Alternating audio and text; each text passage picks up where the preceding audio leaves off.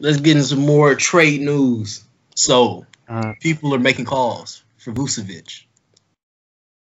Um, specifically, the Heat, the Spurs, the Celtics, and the Hornets have all apparently expressed interest in getting a hold of Vucevic. Um, Vucevic, let me pull up his numbers.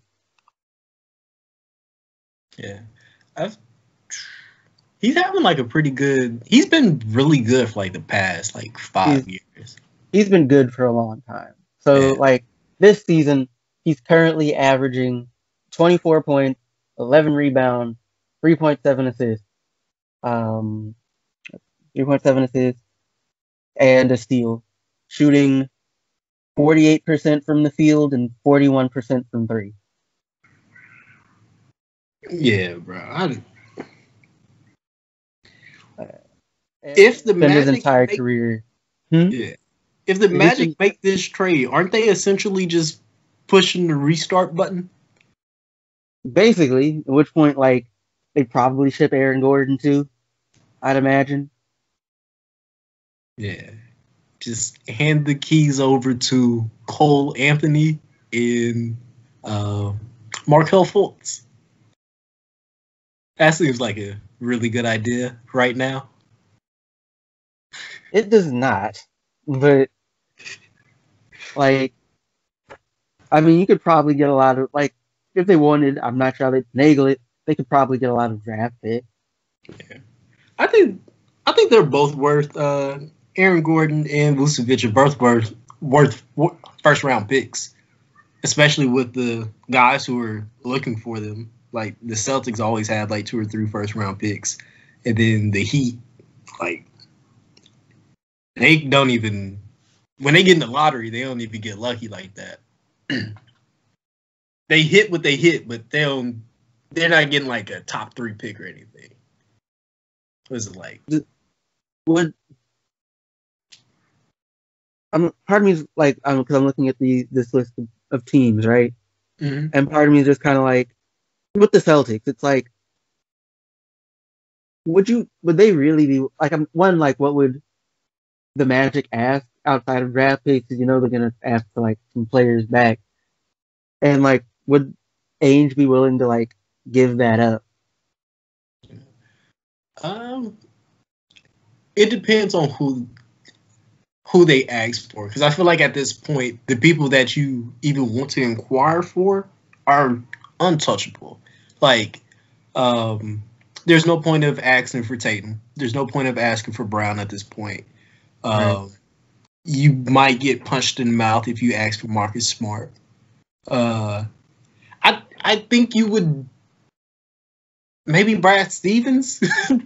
you ask for Brad Stevens, I think that would be like more likely for you to part than like any player of like true value. Like, because uh, they don't have anybody right now in their farm system that's just kind of crazy. Like the only prospect, like the high level prospect that I can think of that they have that's not getting PT is like Romeo Langford. And most people see him as like, I mean, I think we see what we see out of this. And he's been in the league for like two years. Yeah. So. I mean, what? Oh, actually, no. The uh, I watched an interview Tim Duncan did, and like mm-hmm. something he mentioned is like one of the things you'll notice with young with those players who come in super young is that like by like year three or four they're like completely different players because like they they came to paraphrase basically came in as like children functionally yeah. like high school like just a step above high like high school kids and it's just like after that couple years you get that experience and like that extra development time. So like I don't know, like Langford might not be much now, but he might end up being worth it. But like I don't know, like how good has Walker been doing? You said who? Kemba Walker. Kim Kemba has been straight this year. Um like I don't think his one of his best seasons, but he's averaging 19 19 points pretty much 18.5 3.6 rebounds and 4.6 assists on some not great shooting numbers. Uh, he's shooting 39% from field goal and 37, well, pretty much 37 from three pointer with 91 at the free throw. Right. Okay. Just like I don't know, maybe you ask for Kemba. Like I feel like at a certain point, like the, the Celtics are gonna need like salaries to match or something. Yeah. Yeah. You're not getting Kemba either. You're probably not. You can have Teague if you want a point guard. it's like you, you can keep him. Yeah. Like um, Um, shoot. They got two um guards that I think would be of interest. Now, do I think Danny Ainge will give them up? Like one more than the other.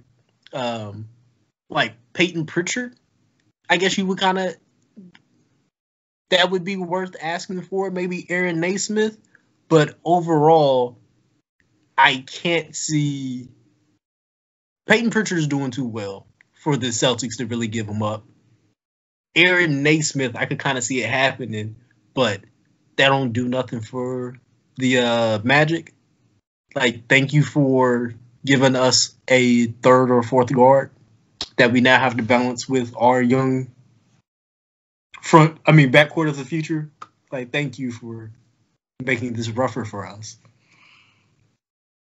hmm. Oh, bro. I'm just like the Spurs. If they've got young players, they could give up. Like if they felt so inclined, but I don't know that. I don't know something about that feels off to me. Yeah. Like this Spurs? Spurs in the market? Yeah, so the Heat, Spurs, the Celtics, and the Hornets. Okay. I'm just looking at the roster like who like who you trade for that where it makes sense. They always have uh first round picks over there at San Antonio. Go ahead, give me uh LaMarcus Aldridge and uh Yoko Po- Podal in a first. I'll do it. What's the salaries worth? I'm pretty sure the salaries would work because LaMarcus Aldridge, I believe he came there on the max, and if it wasn't a max, I'm pretty sure it's pretty close. Hey, Mhm. LaMarcus Aldridge is uh Oh, I didn't. Yeah, he's been in the league a while. It's yeah, he's he out here looking like Tim Thomas. Oh, you remember Tim Thomas? I do not. I do Tim remember Greg Thomas- Oden though. Yeah. Tim Thomas was looking like 50, and I think he was in like uh like year 10.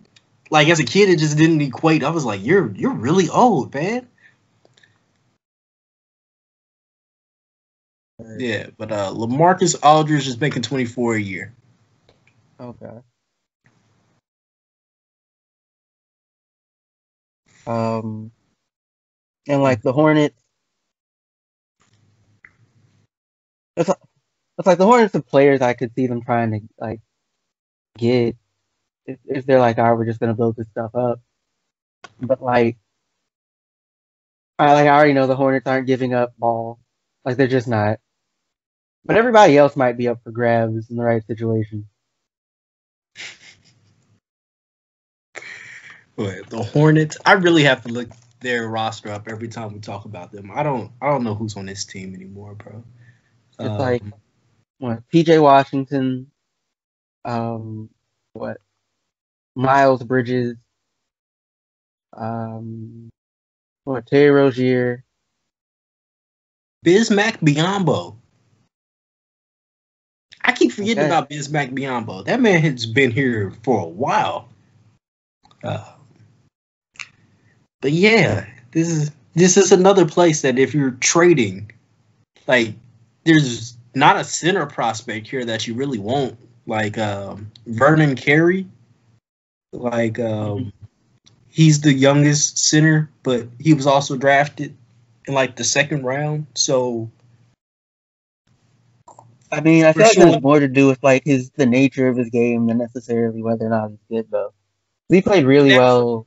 yeah, And but like, but like he played really well in Duke. If you think like he can develop those skills, it's probably worth like probably worth it. Yeah. Do you, you think that's a 24 and 11 type guy at some point? Look, the reality is probably nobody you get in the trade is going to be a 20 like is going to develop a 24 11 type guy. The most likely would be like PJ Washington, maybe. PJ Washington also had a really good rookie year. I don't I don't see them. Yeah, never, never mind. You know, Jordan is not a. I know he's not the GM, but the dude who is the GM, he also sucks at his job too. So, eh. I always love trade time, like that. That those moments before uh, the trade deadline always get a little goofy to me. Mean, well, it's just because like they they start throwing out trade like just kind of stuff. It's like, wait, would that actually work? And like half the time, it kind of amounts to nothing. It's just kind of talk, and the trade deadline comes and goes. Or like they were trying to move a dude, but they didn't get any offers. They like so some dude who's who's been playing games, stressing that like he's gonna have to uproot his family. Like it's suddenly like, all right, you know what, we're, we're good till summertime. I mean, hey, what comes with being a professional athlete? What? Bro, imagine if imagine if trade deadline was a thing in like corporate America. That Like, would be that'd be incredibly stressful for a lot of people. Like you like you wake up like like you go to bed, you're working at FedEx. You wake up, you see the news, you're like GM now. It's like I don't even live close to the GM factory. Hey, this is not things we have to worry about. Thank God for being five ten, right? Once again, Calvin McGowan, hope you enjoyed yourself. Um if you are watching on YouTube, you know, like, share, subscribe, leave something in the comments. Um, you know, you can also listen to us wherever you listen to podcasts. Made it this far, you know, once again, thank you. I hope you got a lot done of whatever it was you were working on while listening to this. Um, and yeah, en- enjoy the rest of your day.